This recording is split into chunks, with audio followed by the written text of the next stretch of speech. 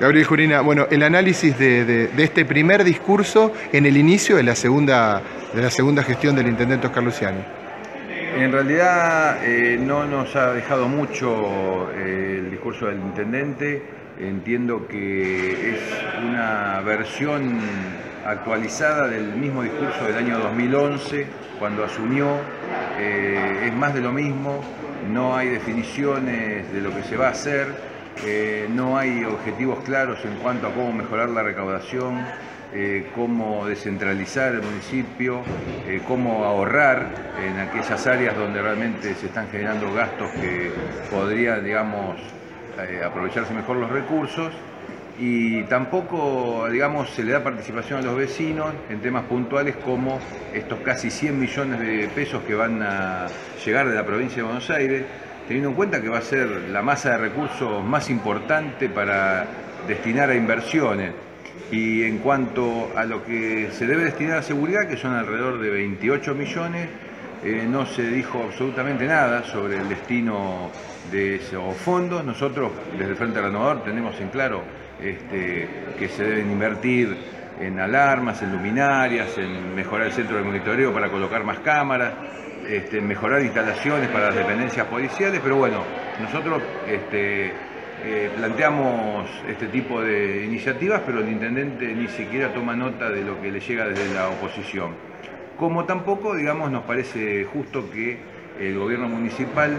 plantee, bueno, cuáles son las obras que se deberían hacer eh, sin darle participación a los vecinos, insisto con este concepto, porque eh, le hemos pedido al intendente que convoque una audiencia pública para decidir entre los representantes de las entidades y los vecinos dónde deben ir esos fondos, pero bueno, de manera inconsulta, eh, arbitrariamente, eh, ya se está proyectando ese gasto y en realidad, bueno, este, entendemos que eh, merecen todos los lujanenses decidir cómo se debe gastar esa plata. Gabriel, en el cierre del discurso, el intendente Oscar Luciani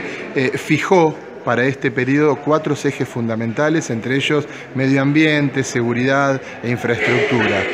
¿Consideran desde, desde el espacio de ustedes, del Frente Renovador, que esos ejes tendrían que haber sido apoyados con fundamentos, con proyectos concretos de lo que se va a realizar? Insisto, son las mismas declamaciones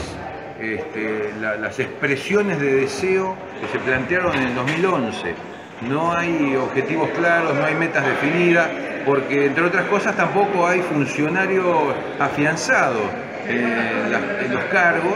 eh, se han cambiado eh, muchos secretarios, muchos directores y han empezado de cero, incluso, eh, digamos, menospreciando la tarea, la actividad que realizaban los antecesores. Por eso entiendo que los cuatro años, los tres, años y pico que quedan de gobierno vecinal radical y ahora con un nuevo socio como es el PRO, lamentablemente van a ser más de lo mismo. Eh, no, no, podemos esperar mucho de un gobierno que en cuatro años ha hecho poco y nada y que evidentemente no tiene ningún objetivo claro de lo que debe hacer en los años que le quedan por gobernar.